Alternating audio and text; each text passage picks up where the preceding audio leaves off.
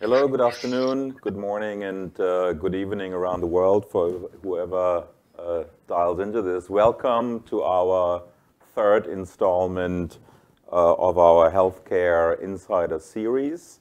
We started this, I guess, uh, nine months ago uh, with a discussion around COVID-19, uh, the pandemic, vaccination programs. We then had a very interesting session uh, uh last time with our CEO around digital transformation uh, and what IHH is doing uh, in the course of digital transformation. How much are we going to invest? And today I have here a couple of uh, my colleagues, and uh, from Hong Kong we have Michael Dennis, the managing director of the alternative strategy and capital markets investments of uh, BlackRock, uh, and we're going to discuss about our laboratories business and about uh, diagnostics and what the diagnostics business is here for our industry. Before we get started, before I introduce uh, the colleagues. We have an ART test. You did your ART test, uh, Ashok? Yes, I did my ART test this morning, yeah. And, and, it, and it did show on the, uh, I think it needs to show on the C. and It is all clear, so. Okay, I, I did my ART test. I think we reported it to uh, our HR function. That's why we can sit here without a mask. Uh, uh, before we get started, Gong Xi Fa Cai, everyone. Happy New Year of the Tiger. I hope everyone had a great time. Do you you went somewhere or you stayed here in in, in Singapore? I was here in Singapore with the family. We, we had a relaxing time. Went around Chinatown, looked looked, and decorations were were absolutely beautiful. Uh, so yes, we had a very very relaxing time here. Perfect, great. So uh, let, us introduce uh, the colleagues here on the panel. So first of all, um, uh, Ashok Pandit, our uh, Group Chief Strategy and Business Development Officer, and the head uh, and lead of our laboratories initiative for the whole group. Welcome, Ashok. Thank you. we have Dr. Daniel Tan. He is dialing in today from Palo Alto in Stanford, where uh, he meets some of his old uh, friends from university. Uh, Daniel is the Chief Executive Officer of Parkway Laboratories. Hi, Daniel. Hello. We have, uh, right from KL, uh, Modharif bin Muhammad, Chief Executive Officer of Pantai Premier Pathology. Uh, hi, Harif, and I think you lead a market-leading uh, uh, business uh, for us. We'll come to that in a minute. And Michael, I've introduced you already uh, you are the managing director, head of alternatives, uh, strategy and capital markets in Asia Pacific. Hi, Michael. And for, for the benefit of everyone, Michael is not uh, uh just a strategic uh, head or a strategic function. He is actually running his own portfolio within BlackRock, so we have real investment expertise here on the panel. Now let me introduce the topic, uh, how diagnostics, is about diagnostics. Diagnostics uh, is something we've started to talk about a little bit last year in our analyst uh, uh, presentation, analyst sessions. It has moved from the basement of our business, where actually many of our labs are in, in the basement of hospitals, and it has moved from the base to the ground floor. There's a little bit more visibility, especially during this pandemic. We talked uh, to you about earnings contribution, you know, earnings calls, great margins uh, that this business had. We want to talk about what the future of this business is uh, and what potential growth potential it has for IHH.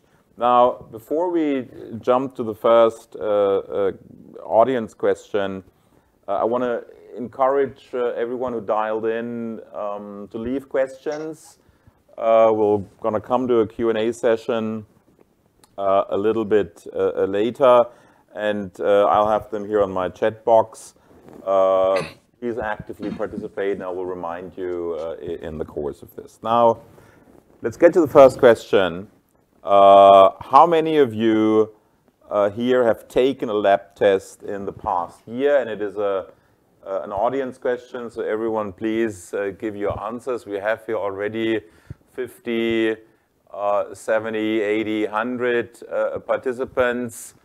And I think there is a very clear trend. Most of you have participated in some kind of test, but there's still around 10% uh, of the audience who have not had uh, uh tests done or have not gone to any lab uh, uh, tests.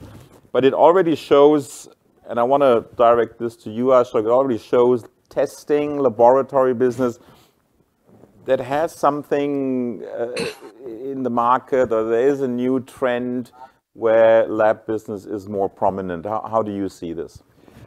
I think thanks, Jörg. I think uh, if, if I if I look through the journey the labs have gone through in the, the last two or three years, it's it's been an absolute transformation of, of the business, and labs have been big contributors. They are a, they play a key role in healthcare services as you know. And for a group like IHH, they, they present a, a, a, huge opportunity.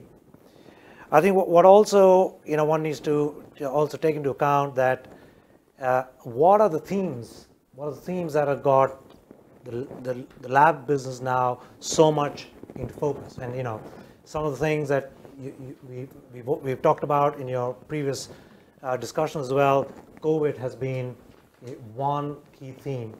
But the other themes which are really putting the labs right in front uh, for everyone to think are themes like wellness, uh, preventative, uh, you know, medicine. We all want are, are, a little bit more careful about our health, want to want to see how we are doing, and labs play a key and important role.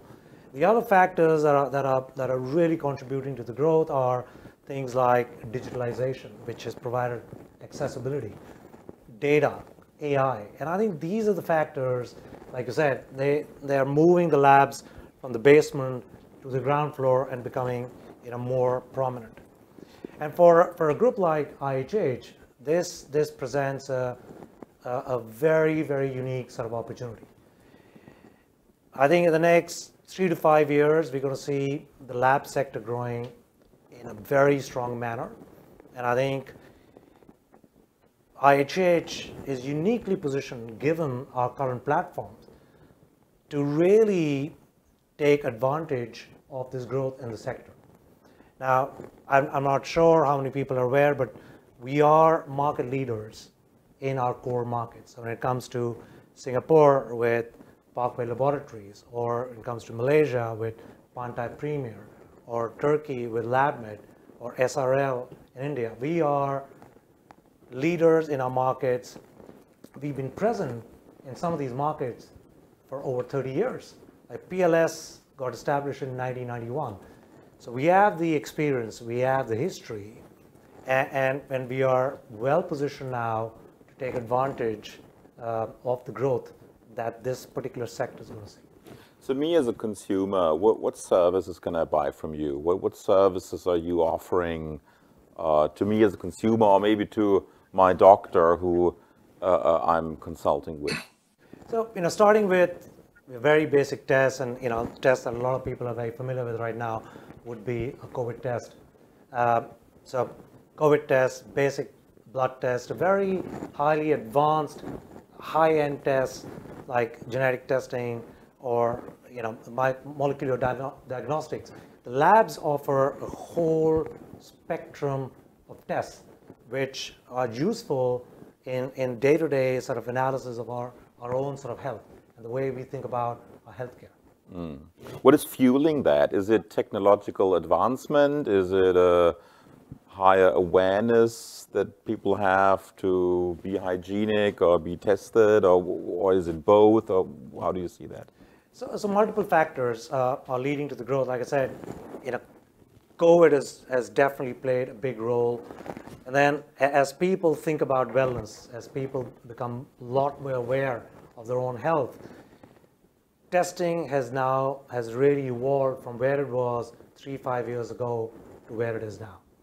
And I think what, we'll see is this trend only increasing as we partner with with the doctors and as as as patients and, and consumers get a lot more you know, conscious about their own health and they want to track their own health going forward. Let me turn the question to Harif uh, in, in KL. Harif, we, we, we, have this image of coming from the basement in, into the ground floor. Uh, what has changed for you as leader of that, of that uh, Pantai Premier business? Thanks, Joe. yes, uh, indeed, uh, the assault of uh, COVID pandemic has really changed things significantly for us. Uh, and it has been both uh, challenging as well as exciting for us. Uh, we liken ourselves to be the people behind the scenes, the one that make the doctors look good. but the scale of the pandemic over the years have changed this dramatically. everyone is talking about testing, people on the street is discussing about molecular tests, about PCR, about CT values, about variants. And the role of the lab is now at the front line. Uh, so, yes, we are now at the front line, but we have taken things within our stride, actually. And it is like a calling for us um, and a call of duty. You See, have, Pantai Premier Yes. You have, let me just jump in here. We, you have told us in the in the pre-discussions uh, to this, you have some special, special capabilities that you've built up in your laboratory and where you are like a like a reference laboratory, uh, maybe even beyond Malaysia. Can you share a little bit about that? Yeah, sure. Uh, see, Pantai Premier Pathology is one of the pioneer for molecular testing locally uh, we established our cytogenetic and molecular lab uh, since 2016. And we pride ourselves as uh, a very comprehensive molecular lab serving in the area of infectious disease, oncology, and fetal maternal diagnostic, offering cytogenetic, karyotyping, molecular PCR, and even now uh, next generation sequencing. So going back to the COVID uh, experience, when the Ministry of Health Malaysia asked us, uh, the private sector to come on board to assist the nation in screening for COVID uh, way back in February 2020, uh, we enrolled willingly. Uh, to date, we have performed more than 2.3 million tests for RT-PCR nationwide, contributing to about 8% of the national testing capacity. On the other hand, uh, our role within IHH itself is also very important. Uh, we balance the ecosystem and supporting our hospital to ensure safety of our people and the patients. And our labs uh, is supporting the IHH group of hospital to provide screening for pre-procedure and pre-admission timely and in-house where possible. So going back to your question about uh, what how do we do this and what do we have is that uh, we adopt technology uh, very fast we not only adopt we adapt and then we advance our capability uh, to provide services to ensure that uh, our partners are the first in the market in terms of new technologies procedures and modality how do you how do you do that? How do you stay at the forefront of technology? I mean, I, I, I, can imagine this is one of the most important things to stay really at the forefront of science. How do you do that? So basically, uh, number one, uh, we have to identify ourselves with partners. So, for example, uh, when we see there's a technology, we also ensure that our partners are willing to partner with us uh, and provide that technology. Um, so for, for that, uh, we ensure that uh, our services are of quality and uh, we also empower our people to upscale their capab capability um, uh, in providing the services. i give you an example. Um, when we started our, our molecular lab in 2016, uh, we are one of the first lab in Malaysia to provide companion diagnostic testing uh, for oncology, for targeted therapy. And at that time, uh, this testing is not uh, freely available. So uh, we partner with our vendors and they are willing to place uh, instrumentations in our lab as long as we have dedicated uh, scientists to run the systems.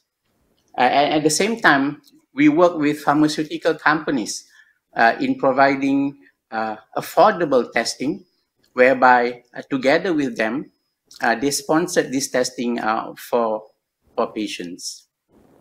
And now, starting early last year, we already have capability in doing next generation sequencing, whereby uh, we do uh, comprehensive genetic profiling for cancer patients uh, to look at alterations that help doctors uh, in identifying which uh, route of treatment is uh, most appropriate for, for the patients. Wow, that, that's, that's like super scientific, uh, sounds like a lot of investment, sounds like a lot of effort to stay really at that technological forefront. Let me, let me switch gears and, and, and go back to Daniel. Daniel, coming out on the ground floor, being, uh, having your own shop front, that changes the work of a CEO. How, how did this change affect your personal work environment and the challenges that you face as a CEO of this business? Well, well thanks, Jörg, for, for giving us the, the airtime. For, for the longest time, labs have always been considered the backroom support for front uh, frontline services like the, the clinics, the hospitals itself. And we are usually like what you call the supporting cast in a big movie and we are the, the props-men, the, makeup artists, etc., that helps the actors at the front look good. But the, the lab has always been really the, the key to getting the diagnosis of the patients correct. And that's what we've always been doing in terms of sharpening that tool, because the accuracy of the results actually determines the treatment pathways that the doctors are going to make and also helps to alleviate the anxieties of the patient as to what's wrong with them when they come through the front door, be it the clinic or the hospitals itself. So our task is really to get that results quickly, uh, effortlessly, and of course, mostly, most important, accurately to the clinicians itself. How has that changed over the years? Um, obviously, similar to what Harish mentioned, the tools that we're using today are very different. Uh, it's been evolving exponentially. Uh, thanks a lot to not just the hardware, but also the software with it. And I think you alluded to it, uh, and Ashok alluded to it. It's using big data. And so it is not just a, a single test result, but basically what we can do now is to aggregate multiple test results together to give the entire picture of what's happening to the patient. Important to note also is that when you come into the hospital for your diagnosis, it is just a snapshot of what's happening to you at that very moment. But actually, as you all know, and as we all know, our illness is not a snapshot. It is really a timeline of illnesses with it aggregated together. So it is how do we combine the, the data from our past results to today's results. And that's actually giving us the most important thing, which is trending. Where is your health heading? Is your health heading in the good direction or is it heading in a negative direction? So that's the sort of new toolbox that we're using today to help bring all this together. That sounds like a, a lot of data analytics, uh, AI, and, and I'm, I'm, sure we'll, we'll, we'll talk about that uh, in a minute. Let's, let's ask Michael as as one of the, uh, or as, a, as an investment practitioner here, who uh, uh, hears all this with fascination, I'm sure, but in the end, you invest in businesses and you want to make money with it. Uh, what are some of the trends that you see uh, in this healthcare space? What are you investing in uh, as, as BlackRock? Yeah, thanks very much, and thanks again for the invite today. It's great to be here. Um, and by the way, I love Daniel's uh, analogy of the health trend because that's certainly something that uh, we think about. Because the three factors we're really looking at within healthcare are number one is healthcare ecosystems versus single vertical and the value of that ecosystem. And we're looking at that by country, by region, and how do you look when you look across hospitals, pharmacy, diagnostics how do you see within a brand or within a company that there's ecosystem value that is going to be benefit both the company as an investor, you're looking at um, underlying financials, but also for patients. Um, I think that's number one as a theme. I think number two is um, really in kind of consumer preferences in the way that they are interacting with healthcare. I think this goes to Daniel's point on the on the healthcare trend or the health trend is that before there was doctors who would prevent or proactively get additional tests, check their DNA for underlying health concerns. You're now seeing due to the rise of technology um, and also because of the changes in corporate insurance or healthcare insurance, you're now seeing people's behavior being moved towards a much more preventative culture around um, around healthcare and particularly in the use of labs. And I think this is critical because you've now got this what will become over time much more um, kind of the norm is to understand your underlying health, your the picture of your underlying health as an individual, and how you can prevent that going forward. And, and Ashok mentioned that earlier when you add wellness in there as well. This is going to be a huge driver that we're really looking at as an investment trend. And then finally, the third one is really the use of data and technology. I think when you look at other sectors, so we look at consu- consumer, for example, with uh, food delivery or in um, e-commerce, with which has obviously taken huge strides versus offline retail. The implementation of technology and digitization in all aspects of healthcare, I think, has a huge opportunity given the imp- importance of healthcare to all of us in our everyday lives. And I think that we've only really scratched the surface of what technology can bring to the table in different areas. And as was touched on earlier, that can either be on the scientific side that can be on the engagement with patient side, that can be in the engagement of the healthcare industry. But the embedded benefits there of far greater use of technology and digitization, um, I think is really exciting. And so when you put those three together as structural trends within the industry, added to factors such as COVID, added to factors such as changing regulatory framework in, in certain countries, um, and also to the changing use of capital or the growth of private capital in the healthcare segment, you've got ultimately six different factors there that are really going to change the outlook on key areas such as labs in the years to come. Do you have a, a dedicated healthcare fund or do you have capital allocated to uh, healthcare investments? So we have multiple. So because we believe that then when you think about a healthcare ecosystem, that means that there's multiple parts of the journey um, that as investors that there's going to be opportunity. So we have both biotech funds, we have healthcare and wellness private equity funds, um, we have healthcare innovation funds that really focus on biotech, medtech, um, and kind of capturing that theme that I talked about. But I think what's important to note is in in some of our more generalist funds, the the kind of breadth of opportunities within the healthcare sector to invest in are now far broader or becoming broader than they have been historically. And so what you're seeing is the allocation to healthcare as an overall sector increasing with the increase in the number of underlying pillars or subsectors, as we would refer to it, um, is expanding and that the growth and investment opportunity is therefore changing.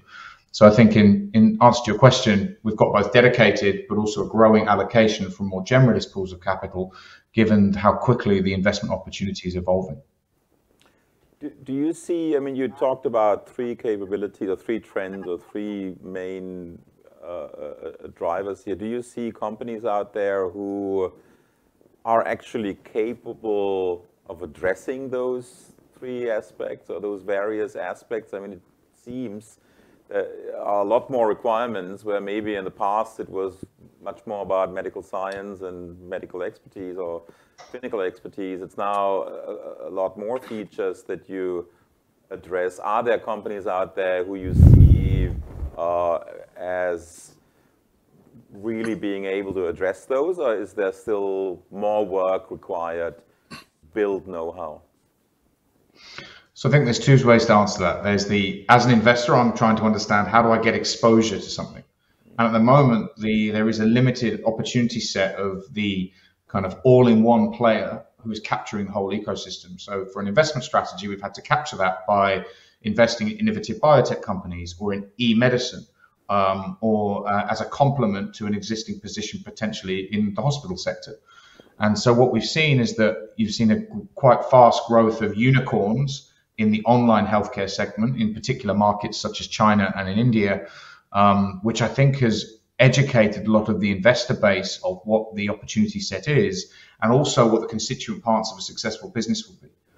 What I think is interesting is for established brands such as companies such as IHH, there's actually an opportunity to learn from those companies that may have been operating in a, in a particular vertical or um, in a particular more tech orientated segment to then given the strength of a brand such as IHH and the embedded health expertise to and to take on some of those key factors within the business model is going to enable investors such as such as ourselves to be able to gain a, a much broader exposure and a more complete long-term package to a solution that maybe currently we can only capture by taking a fragmented investment approach to capture those different trends. Um, the one I would call out from a global perspective, where we've seen evidence of this kind of online offline ecosystem being sewn together, is really Kaiser Group in the US.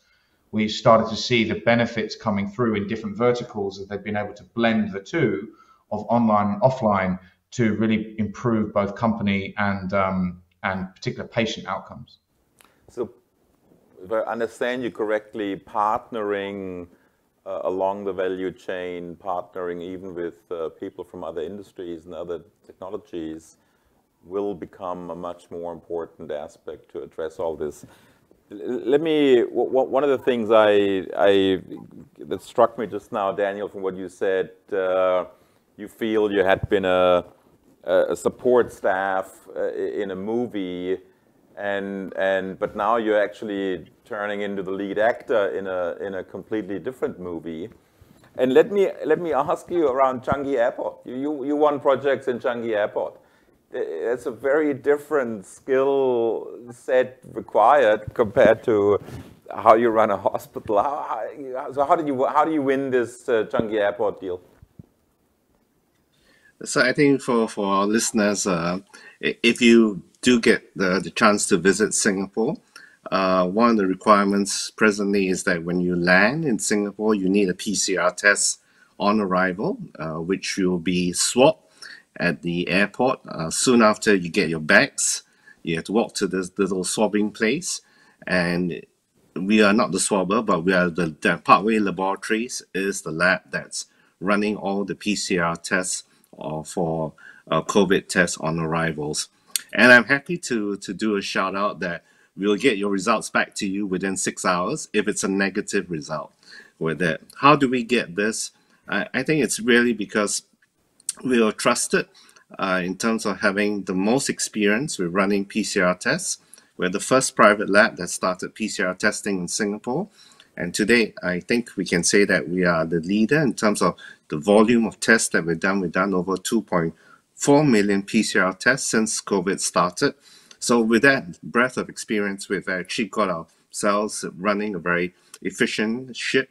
And that's how we can get the, the swabs run through and results back to you within six hours if it's negative. I, say if it's negative because if it's positive, we'll do a rerun.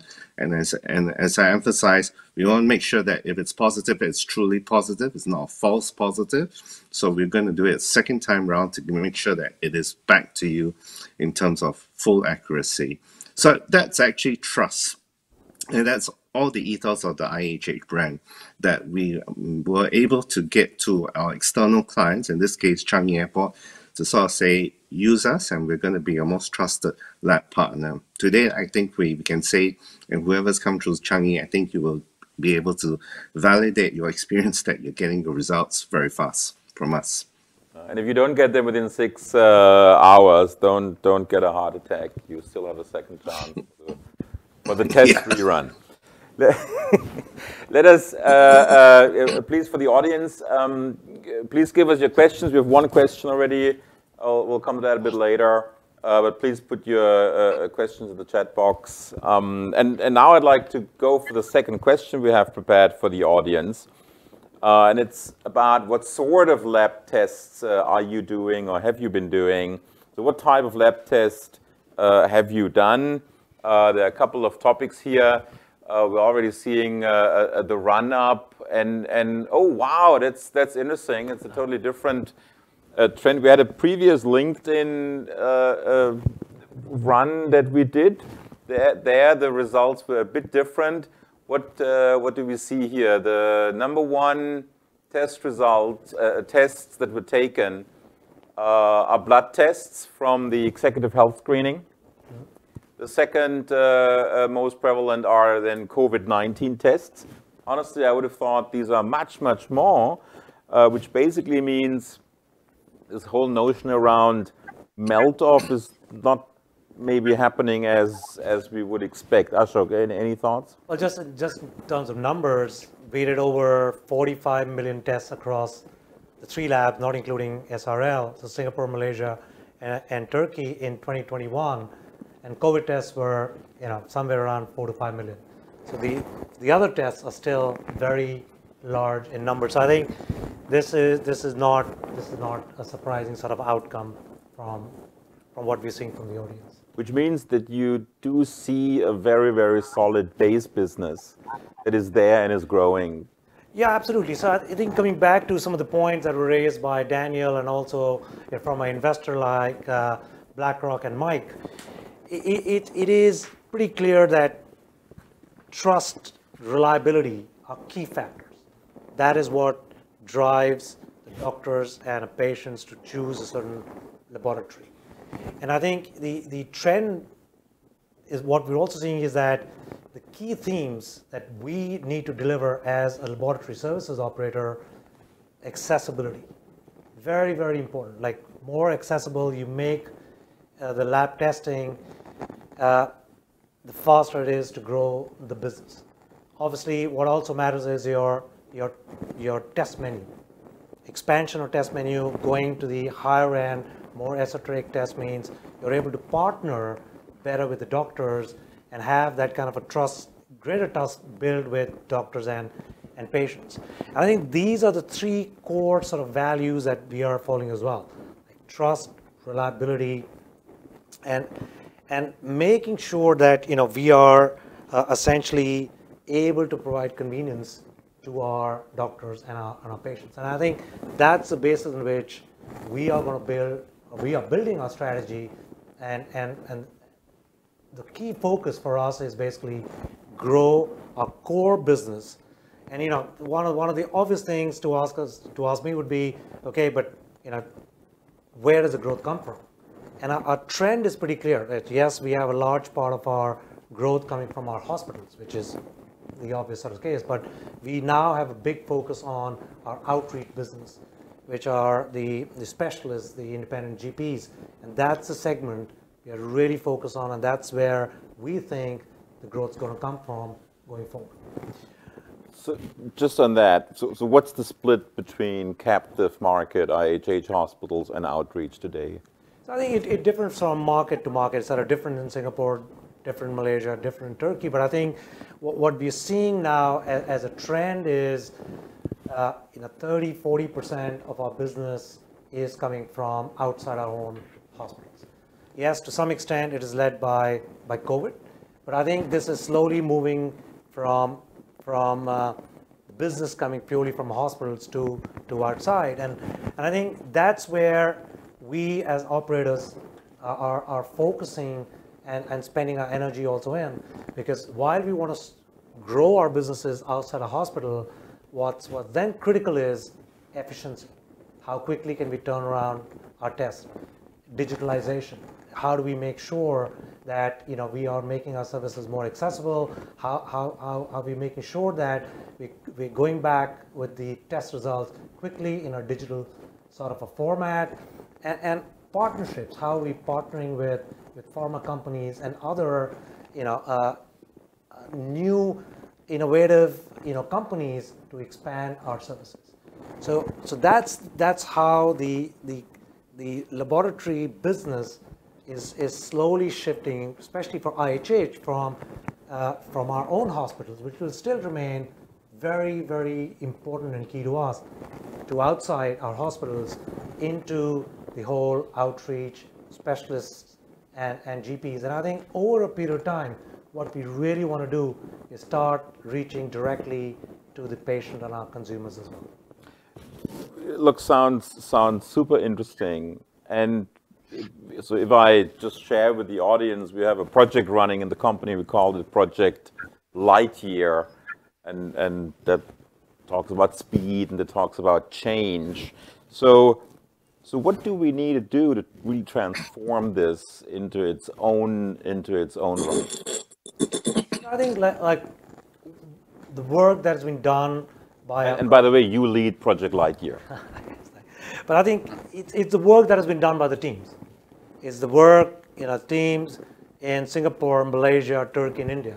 They have been they have actually been key to the success of the business so far, and that's how that's our key sort of tool as we sort of grow our business. To me, people and the strength of our bench, our leadership, and our teams is what will define us as we grow our business over the next five years.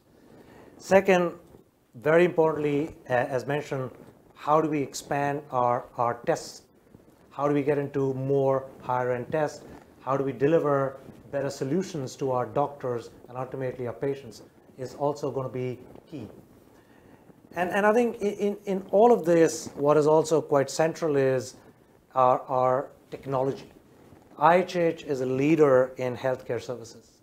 We are leaders in, in our lab services, but we will be leaders in technology as well. So our lab information systems, our reagent management systems, our ability to digitalize our platform front to back and, and back to front, and ultimately use the information that we have, the data that we have effectively is what is going to define our future and also you know ensure that we maintain our market leadership you know as as our business grows and I always like it when you talk about market leadership. That that sounds like uh, something to aspire to. But but we are already the market leader in in many of the markets we are we are in. One of the questions here was uh, from Daniel Cole. Um, what, what are the growth targets for the IHH diagnostic segment in the medium term? Can you give us a flavor? So I think let, let me talk a little bit about the sector. And I think I, I believe the sector is going to grow at somewhere between 15 to 20 percent over the next five years. That is pretty solid growth. But even more interesting, this is a sector which is uh, profitable. The profitability in the sector is high, and the return on equity is, is somewhere between mid to high teens. And I think that's where our targets will also be. We want to be, we want to grow, but we want to grow while maintaining profitability. Another question that, that also comes from Daniel Cole, maybe Harif, this is, this is something for you. How do you stay, you talked about the forefront of technology, how do you stay there? How do you remain the technology leader in laboratories operations? Hmm, interesting. uh, yes, uh, Pantai Premier has always been uh, embracing technology. Uh, we have this uh, what I call the 3A uh, uh, strategy, adopt, adapt, and advance. Um, and the whole idea behind adopting technology is to make uh, the service, like what uh, Ashok mentioned earlier, accessible and affordable locally. And it must be effective and also efficient. Um, so how do I do that is uh, one of the area that we pride ourselves is that we allow our people to upscale their uh, capability and uh, their know-how. Um, training for us is number one. Uh, we ensure that uh, our scientists are always being sent for training uh, wherever possible and whenever there is opportunity. We empower our people to innovate um, and even attract talent to join us. Um, in fact, uh, last year we came up with some innovation uh, whereby we uh, are working closely with some partners uh, to come up with uh, ideas on how we can um, improve our service delivery. Um, and also, like what Ashok mentioned and even Daniel uh, alluded to, um, service delivery is also very important. Uh, and that is why uh, this year we are embarking into what we call a, a digitalization transformation project. We call the project Tuntas. Tuntas is, is a Malay word, mean uh, to complete. Uh, uh, and we are going to digitalize our service delivery component to make it seamless and compelling to the consumer. So those are the few steps that we are doing. And of course, importantly, we want to have a dynamic partnership, not only with vendors or pharmaceutical, even with our hospitals. Uh, we see our consultants as our uh, valuable partners, whereby we have constant dialogue with them on how to improve the service deliveries uh, to the patients. At the end of the day, uh, our goal is common. We want to save life. We want to transform care and improve outcomes uh, for, for the patients. Okay, great. It seems uh, uh, developing our own people, bringing in Uh, uh, new experts, investing into uh, uh, the right frontier technologies are things that, that we are planning. But then let's go back to Daniel and, and bring this together, what Michael said uh, around data analytics, data trends. And Daniel, you mentioned that as well as something you find a real differentiator. Do you have these capabilities or how do you develop these capabilities?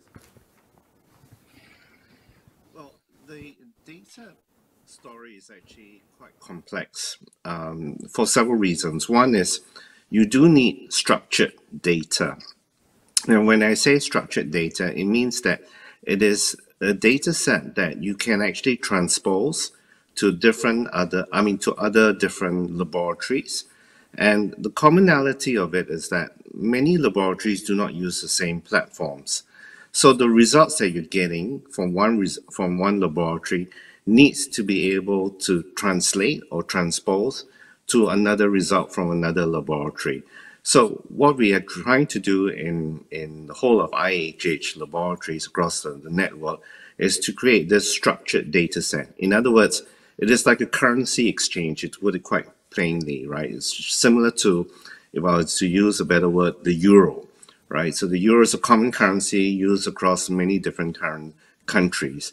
So in the same way that structured data set that we're talking about is your lab results that you find in one patient in one country can be easily interpreted in another jurisdiction. So in other words, you can bring your results across your, your doctors across different geographies and they'll be able to read the same data.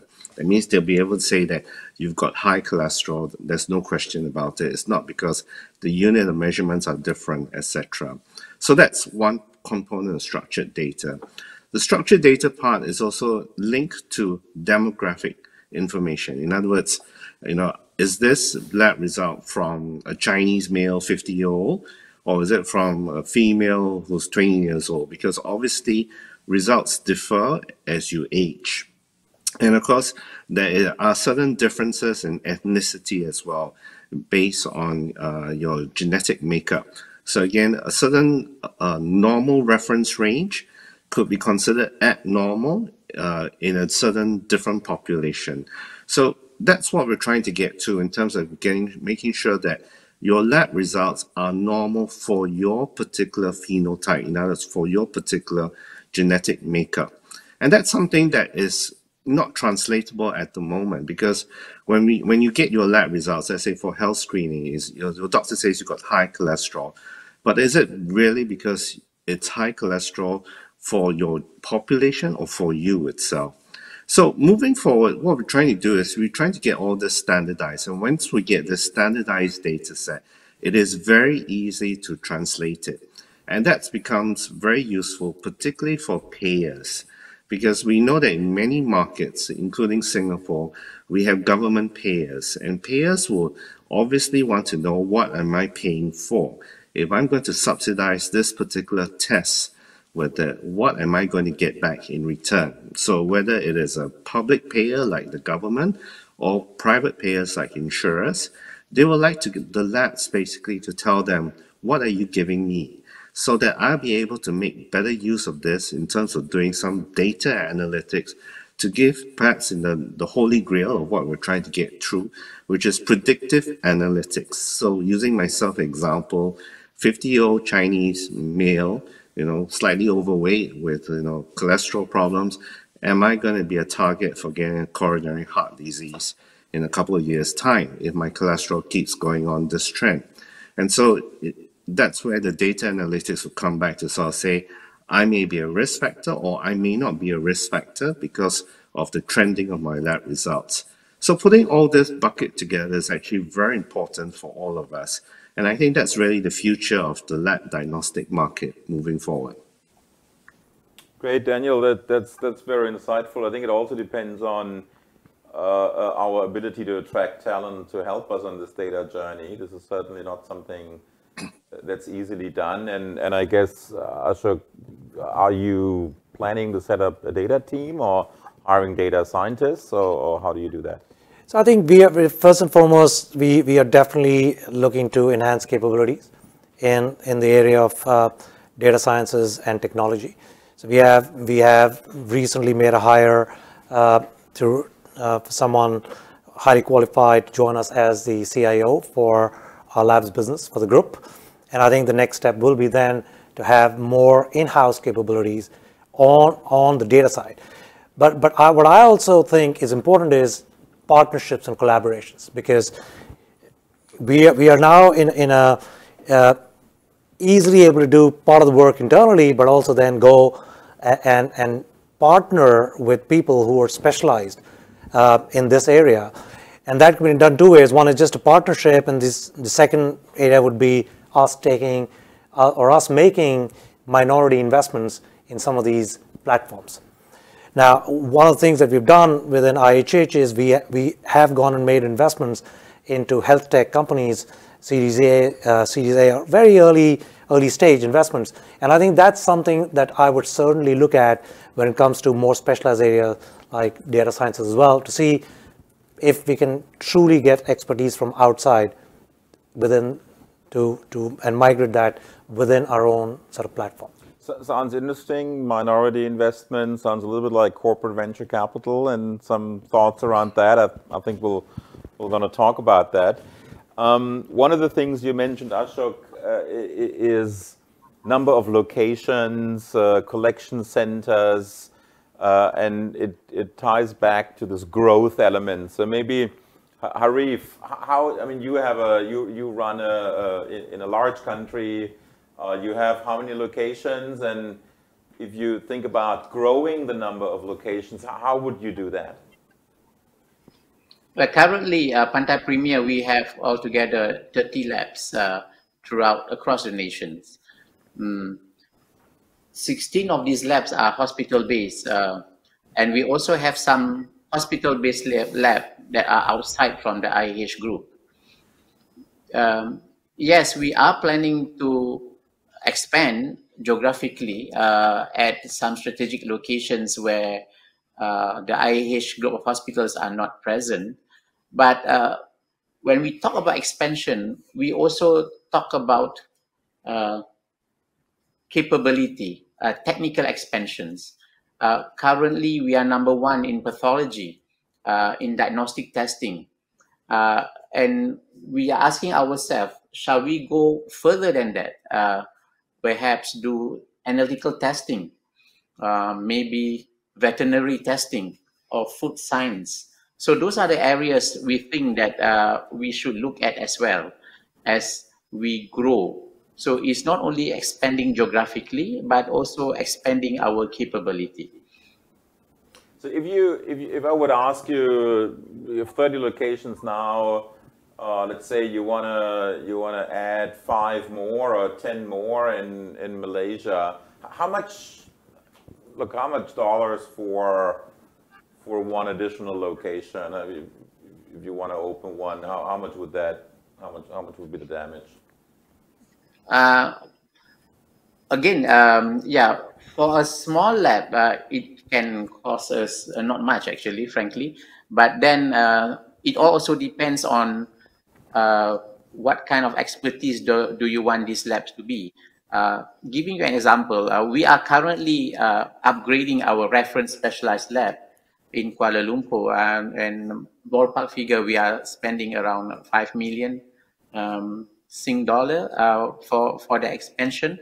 But if we are looking at uh, a routine bread and butter lab services, um, less than a million uh, should be sufficient for, for the infrastructure.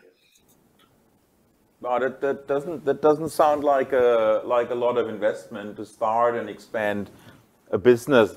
I, am I'm the CFO of the company, so I look at capital returns. What what are ROCE and and capital return numbers, Ashok, in, in your business? So I think our uh, ROCE numbers will be well above uh, 20%. Uh, like, like you said, you know, the capital investment is not significant. Uh, once you have your, you're established as a trusted uh, brand and, and, and people uh, believe in your services, high level of reliability, expansion is, is not that, that we don't need that kind of capital. Plus, the margins of the business are, are high. Um, in, in, most cases, at par or higher than what, what you normally get from, from hospitals. So therefore, the cash flows of this business are actually very, very strong. I guess where you need the capital and where we're going to come to you, you at some stage is when we want to do some M&A. Okay. That's where, that's, I think that's where, apart from the organic journey, organic growth journey we're going to have, that there may be some opportunities available going forward, which may require additional capital. Let, let, let me take that and, and ask Michael uh, on that. It, it, doesn't seem that there is a lot of money required for uh, organic expansion and, and growing the number of outlets. Um, so I assume that type of money is available. Uh, but then we also look at M&A uh, questions, we look at capital market valuations, and there we talk about entirely different type of valuations. Where, do you see uh, valuations headed? I'm, referencing India, for example. And is that type of money available to get deals done?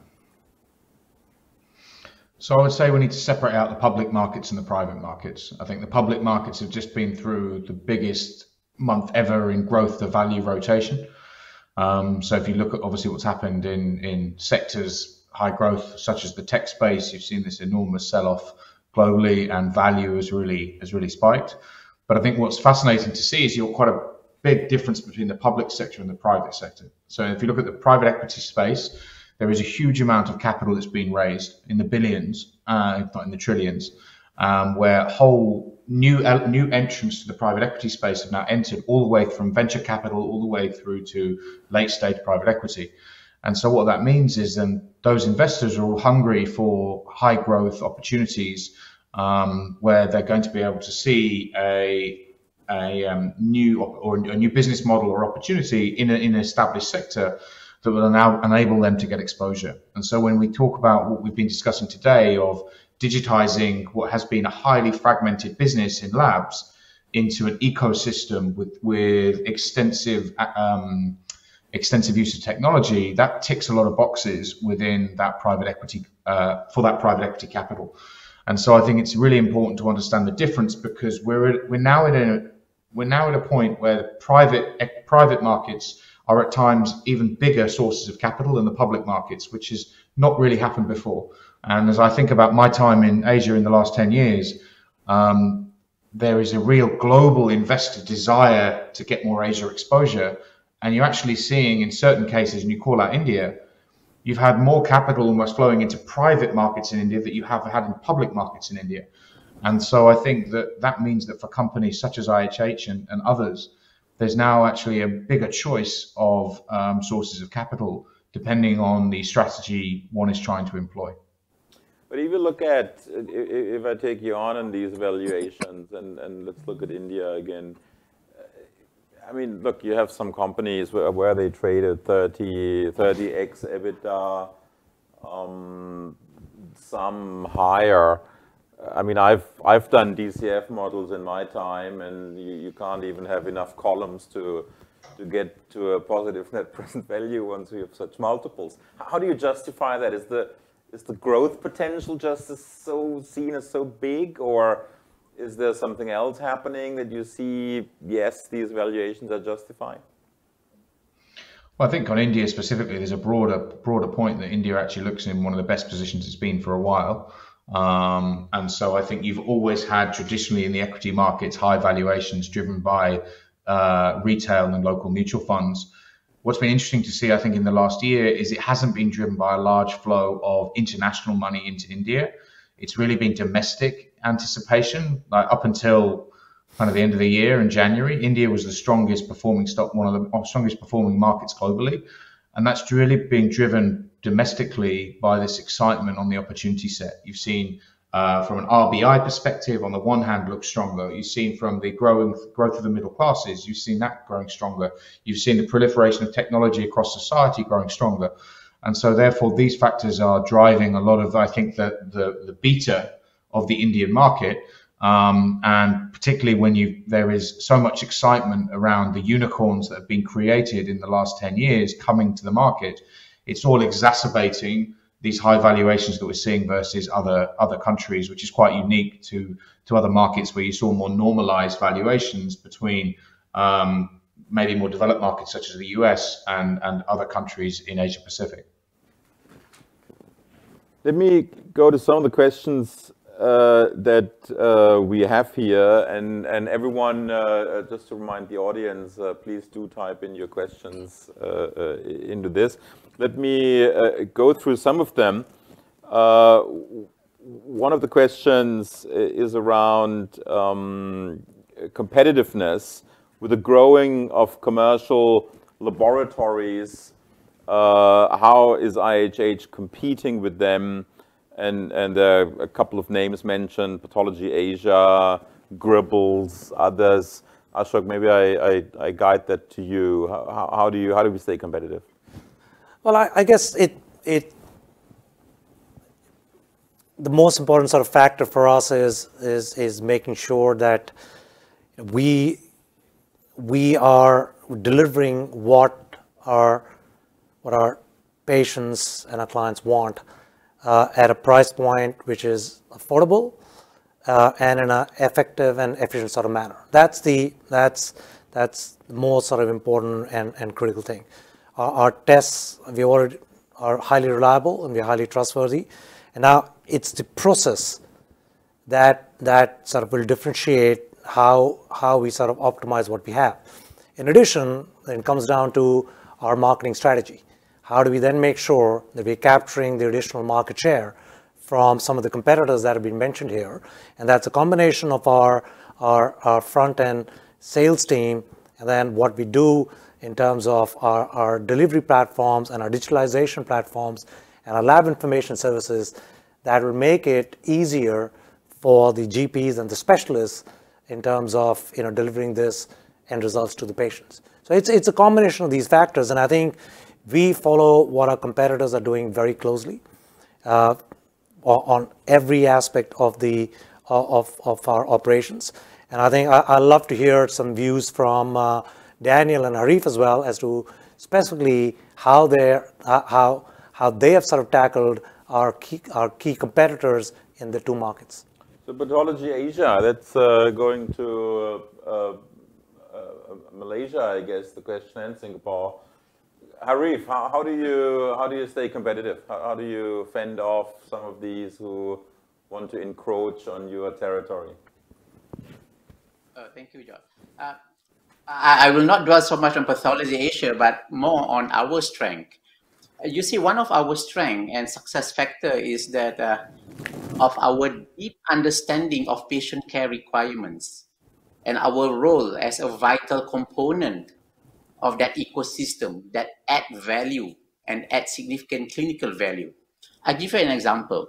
Uh, in the hospitals that where we are uh, providing services, especially not only in our IHH hospitals.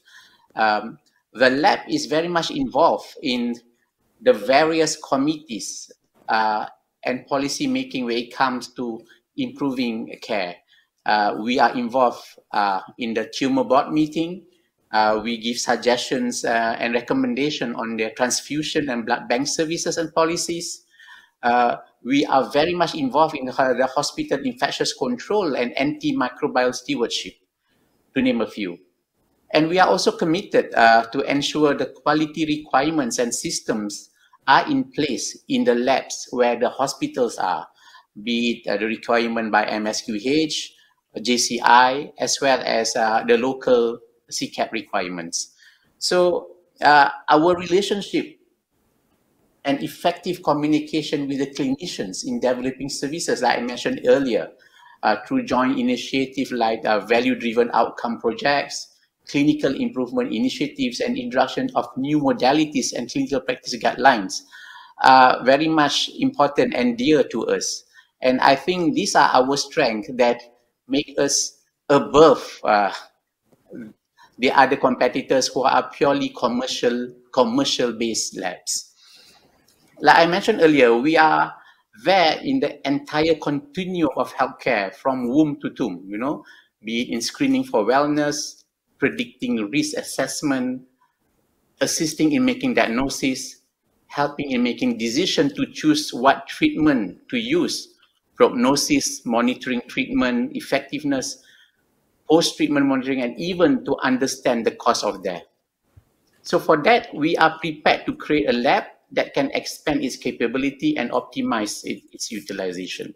So that is our commitment. And I, and I think uh, with that, uh, we can be above uh, water. And uh, I'm quite positive that um, we are uh, at a blue ocean stage when it comes to the competitors uh, in Malaysia. Okay, that, that sounds that sounds uh, uh, like some others have to wear warm gloves uh, uh, to prepare for the competition that's coming. Expansion of capabilities, absolute trust in our services, and and building of sales forces, and not just waiting for the next uh, blood sample to come in, but really acquiring doctor relationships and others. That that sounds that sounds great.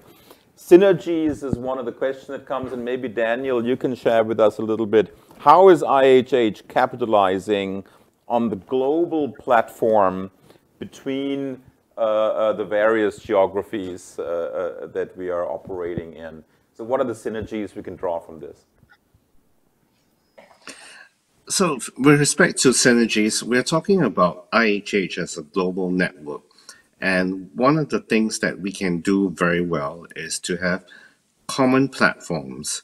In other words, like what I mentioned earlier, if we have the same analyzers that are running the same kind of tests in different countries, then these results can be sort of interchangeable and they can be easily translated. The other synergies are obviously with respect to economies of scale, and that perhaps can answer your previous question about how do we sort of fend off the competition that's knocking on our doors, which is there's always price competition, and that's going to be inevitable. It's an open market. So we don't want to be fighting to the bottom of the barrel for the cheapest price tests, you know, with the lowest quality.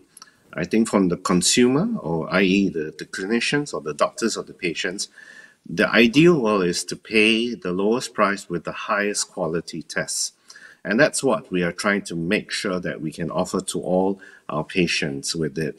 So bring this combined synergy of terms of economies of scale that we can do global procurement as an IHH group, we can actually help drive some of the prices down. And then we can pass on these savings back to the clinicians and also ultimately to the patients itself. The third component about the synergy part is actually what we what Hari shared that we don't have to be the domain expert in all fields. Granted that we have strengths in Turkey, with strengths in Malaysia, like Hari mentioned, they've got a very strong pathology service over there with a very big number of uh, histopathologists that can do uh, anatomical pathology slide interpretation. Same here in Singapore, we don't have as big a workforce, but then we can actually share and leverage on the expertise that they have across the different geographies. The beauty of it is that because we all exist in different geographies, our disease pathology is very different. And that's where that synergy comes in because a disease that's not so common with us may be common in a different territory. And that's where, if you have the experts there, be it microbiologists or pathologists who see more of that pathology, we are able to sort of get these results or these samples interpreted by the best experts in that field in that particular domain. So we see that as a whole network effect for IHH laboratories, we can actually build up this synergy in terms of expertise, cross-sharing of uh, consumables and analyzers in terms of getting reagent prices down and also translating back into goods back to our patients. Excellent, great. And and Yogi, if I can just add, you know, what in, in addition to what Daniel and Harry said, so we have our lab information system, TELUS, which has been implemented in in LabMed, and which is now being rolled over in in Malaysia, and then is going to be rolled over in in Singapore. So this is one very good example how expertise is going to migrate from one geography to the other uh, with the, uh, and a common team which is going to do this. And this is just one example, and in, in addition to all the other examples that were provided by Harif and, and, and Daniel. And I think this is an absolute strength that we have compared to our competitors. And you have yeah. some of the experts from Turkey, who cannot be with us today in this call, but you have some of the leading experts there, even here as delegates in Singapore, to help you build a technology platform. No, absolutely. So I think we, we you know, people are, are, are, are, are the best resource we have. And the team from Turkey will be in Malaysia soon. We have in, in our own team, uh, Professor uh, Ibrahim, uh, who's, who's, who's, who's a specialist, who's been the CEO of of LabMed earlier, and he's, he's a chief uh, medical sort of officer working closely with uh, Harif and Daniel as we sort of think about our, our, lab tests and our lab menus and improving our own sort of uh, you know, medical practices within our labs. So I think this whole, our, our ability to use the expertise we have in Turkey, Singapore, Malaysia, and India is absolutely unique compared to any other platform that's out there. And I understand Anand from uh, SRL uh, is also gradually joining into this platform of sharing and, and contributing. Yes. Great, fantastic. One of the questions here, uh, I, I, I, leaked uh, the information about uh, a Project Lightyear, and of course now people come and ask, what is Project Lightyear? Ashok. So I think uh, Project Lightyear is just, we want to basically create a global laboratories platform. That's our vision. And uh, what, we, what, what we're putting together is the various uh, businesses which were, which were once integrated within our hospitals, segregate, segregating them out and putting them in one business platform. And our plan is basically to create a, a, a laboratories business which will be, you know, a leading platform on a global basis. And you will hear uh, uh, from us uh, starting Q1 uh, some changes in our segment disclosures around the laboratories business. I think we will share a little bit more going forward. Question here from Daniel Ko again. How much capex does IHH plan to spend on the digital transformation of the um, laboratories business? I think I can add here, we've already shared with you that we're going to spend north of 100 million US dollars in the overall IHH trans digital transformation journey over the next couple of years.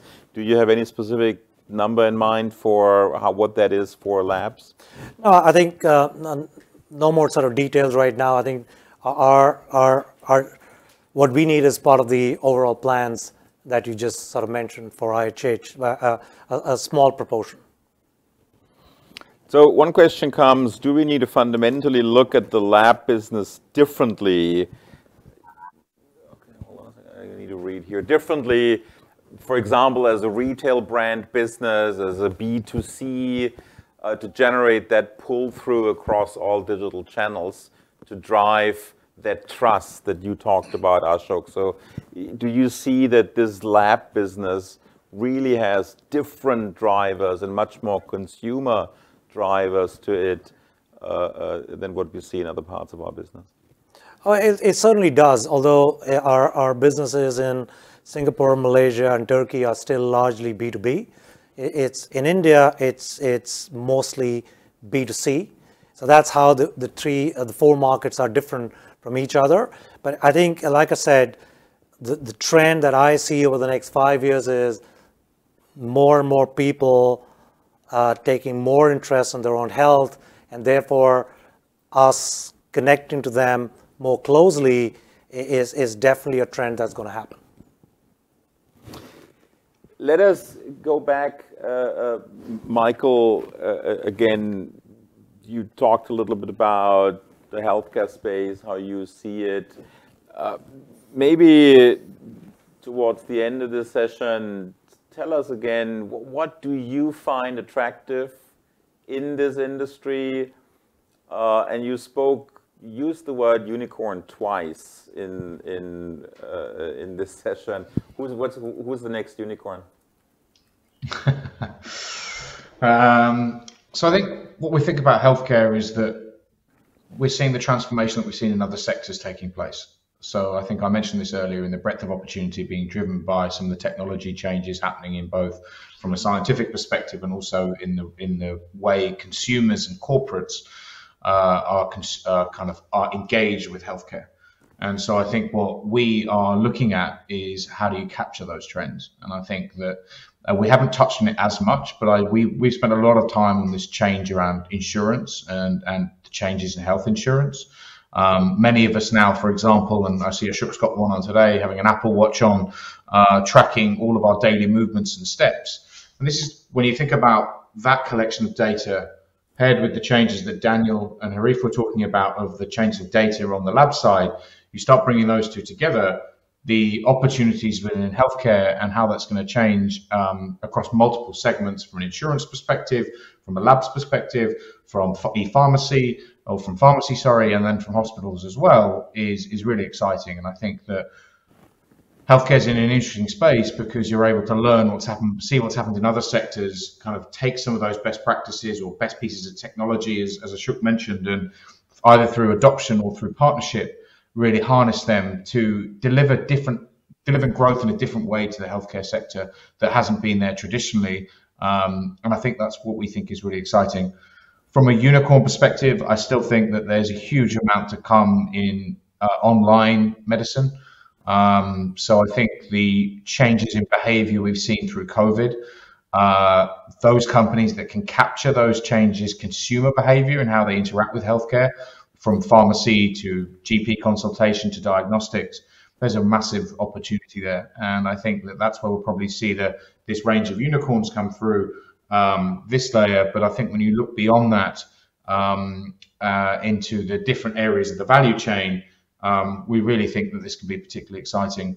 Um, and when you add in uh, key factors such as obviously the focus on ESG at the moment, uh, particularly around social and the role that health plays in social and the ability to make healthcare more available to others with technology, um, with improvements in processes, etc you're going to see this desire for really, in the same way you've already seen probably in the ed tech sector, where you see ed tech or education technology investment really skyrocket. I think there's you've seen healthcare coming up behind, um, and I think that that's only going to be a continuing trend given the the changing assessment that many investors are making beyond just financial return. They're looking at how does it have the environmental, social, or governance impact that they're also looking to achieve with their investments. So what I'm he hearing is that the, that you see uh, a lot of consumerization happening. The end consumer, or we, in some cases, a patient, but it can be a subscriber uh, to a service uh, uh coming here at play. There's one question that addresses exactly that, and that's home use uh, point of care uh, topic. Do we develop or do you see this home use point of care product or service becoming more popular and does the laboratory business have an impact on that? Ashok, what is your thought? I do think that this this will this will certainly sort of increase. I think that this trend has been is well set and is here to stay. Uh, how it impacts the the laboratory business, I think to some extent, this is going to be you know only going to have a positive impact in terms of growth in our business. So that's the way I look at this. But it does mean, and and maybe Daniel, you can help us here, there is a trend towards more B2C consumer-driven uh, uh, approach, and how can we speak to consumers or patients directly? For example, here in Singapore, that's not that easy yet. Do you have any? No. In Singapore, we are bound by the healthcare regulations, which does not uh, allow B2C Uh, consumerism of uh, diagnostic tests. It still has to go through the medical practitioner as the intermediary to be the curator of all uh, these diagnostic tests. And it's ultimately the legal liability of who holds the responsibility for the the treatment of care for the patient itself. Point of care is going to come in, in a form that we'll probably have to embrace it. Uh, it may not be in the traditional mode that we are operating in with you know big, huge machines.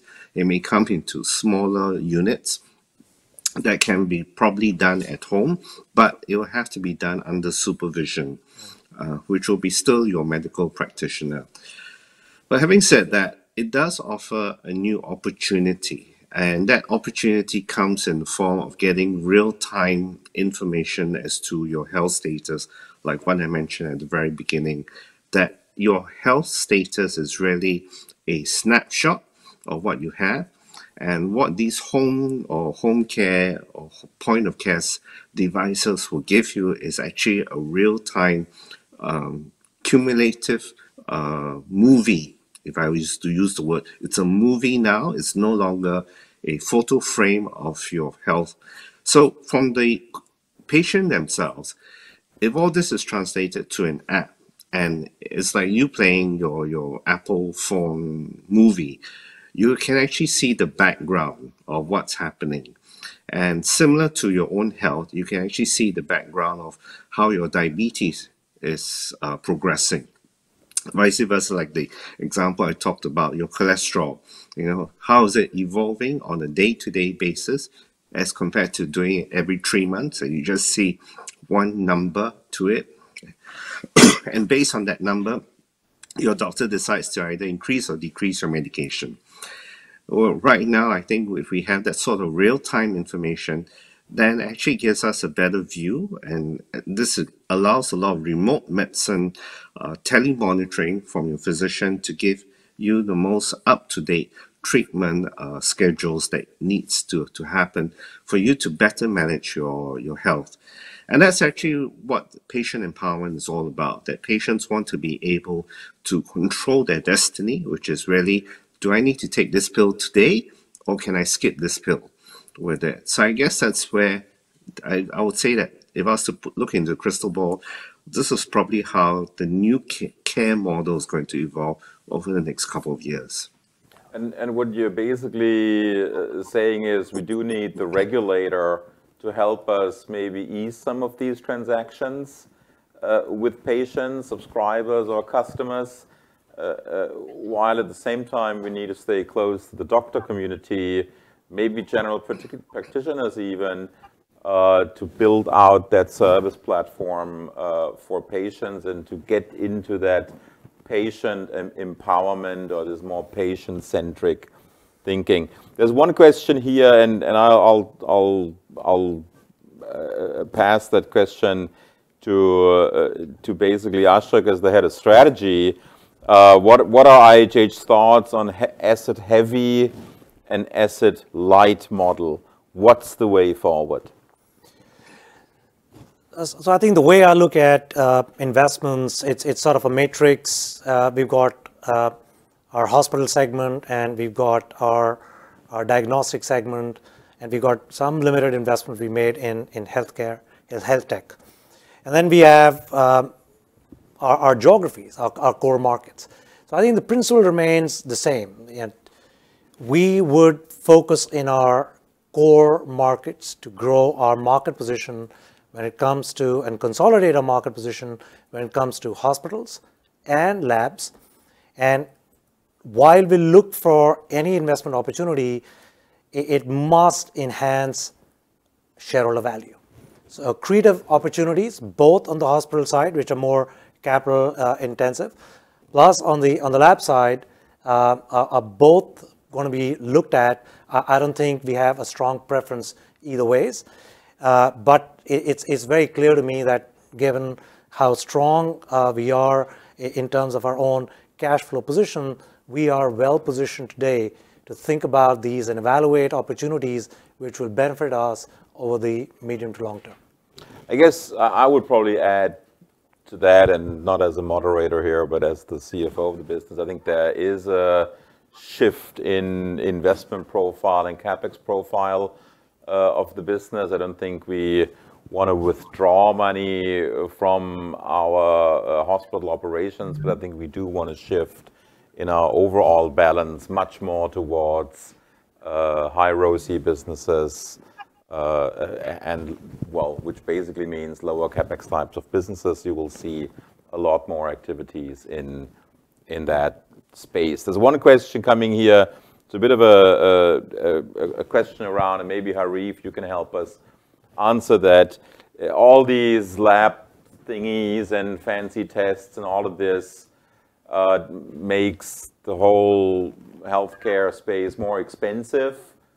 Does that mean that prices go up for the consumer, or for the patients, or or what does that mean? Is is all that needed, uh, or is there a value add for the patient to say, yes, it's worth investing there? Well, this is very difficult. Uh, basically, um, our role is first to create awareness, then to make it accessible, and to make it affordable. Uh, will this new test be high price? I will look at it, uh, uh, what is really needed. So I go back to um, the oncology space where we first started our companion diagnostic testing. Yeah. Um, in the olden days, uh, whenever you have cancer, patients just go for chemotherapy. And and we know uh, chemotherapy is not really the ideal uh, solution for cancer. But now we have a lot of other options: um, targeted therapy, immunotherapy, companion precision medicine testing uh, uh, therapy. But all these require precision testing. And currently, the technology is very limited. That is why the price is very high. So when we come into the picture, we try to bring down the price. Uh, and I think currently the price is quite significantly lower as compared to maybe 10 years ago. Uh, and that is what we are trying to do. We create the awareness uh, of the availability of uh, such options, and then we make it accessible locally by making sure that we are able to run it in-house. Um, and we look for partners to bring down the price to make it affordable. So when you talk about costing and pricing, I think we should also relate to value. Um, and I hope I answered that question. Very, very interesting lead back to saying, yes, maybe testing becomes more expensive, but in the overall bill for the patient uh, uh, is actually going down because through early, early detection, through prevention, through much more wellness focus, the overall healthcare spending is actually positively affected, even though testing, or even though there may be more money spent on testing and on diagnostics. Uh, look, Ashok, um, and and we're gonna we're gonna round this up slowly. You you work for a bank that is very close to uh, where I grew up, Germany, uh, and you've been a managing director in investment banking for many many years. You're a seasoned investment professional, and now you joined IHH as uh, the head of strategy and and the head of this Lightyear project. T- tell me a little bit about that.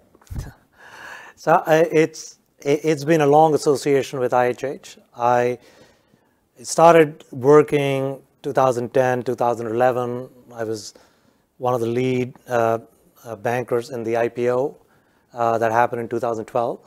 So it's it's an association that goes back 10 years. I've been involved in multiple transactions uh, for IHH and some of the shareholders uh, over the last 10 years. And and I, I think there was a point of time where the thought was coming to my mind was it,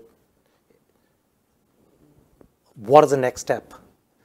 And an inter- uh, in my own sort of career, and an interesting opportunity came up where this role came from IHH, and uh, uh, and I thought, yeah, this will be this will be a good fit. I've I've admired this company uh, from outside, been closely associated.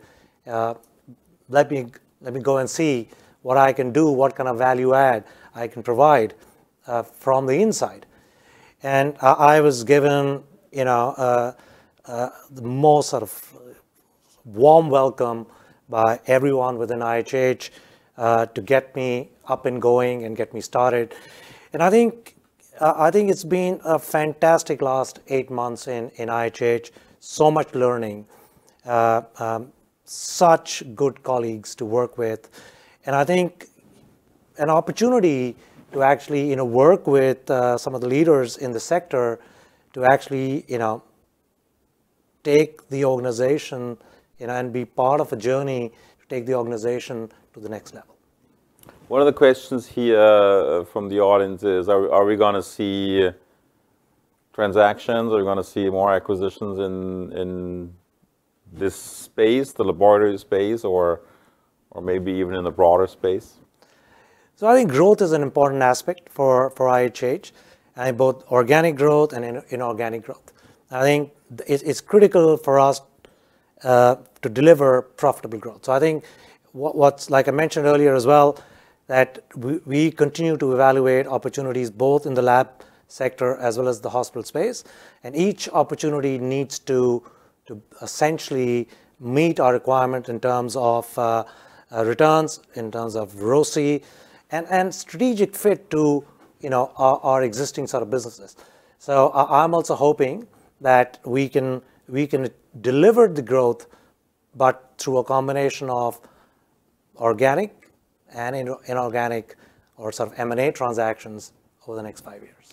When you think about this laboratories business and, and you look at fast forward three years, five years from now, what what do you see in terms of value contribution or size contribution uh, to an IHH overall portfolio? Do you see this laboratories business contribute more than what it does now, and, and where, where could that grow to?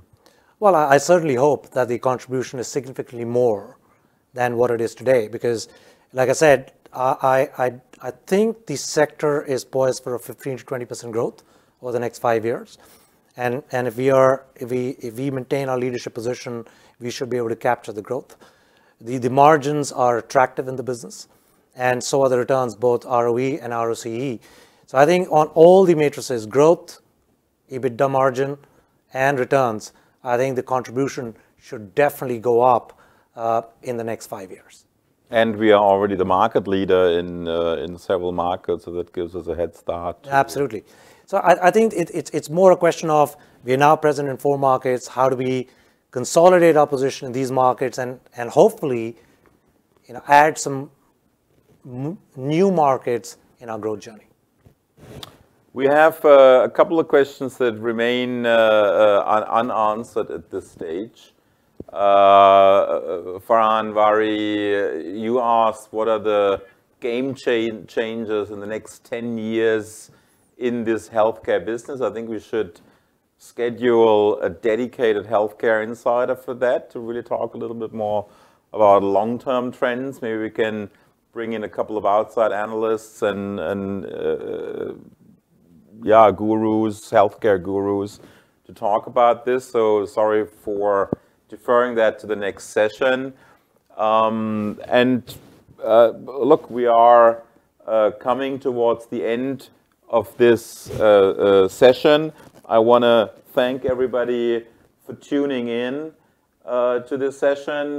Michael, thanks for joining from Hong Kong. Harif, thanks for joining from KL. Daniel, you're gonna come back when? Tomorrow, flying back tomorrow. You're flying back tomorrow? Okay, fantastic. Uh, and if uh, your PCR test doesn't come in six hours, then uh, you know Thanks a lot, Ashok, for Thanks sitting so here, uh, uh, and and we'll we'll find another opportunity to talk about the long-term trends uh, in uh, the healthcare industry. Thanks a lot to the audience for all your great questions, and welcome to the number four session that we will schedule the next uh, uh, couple of months. Thank you very much. Thank you. Thank you.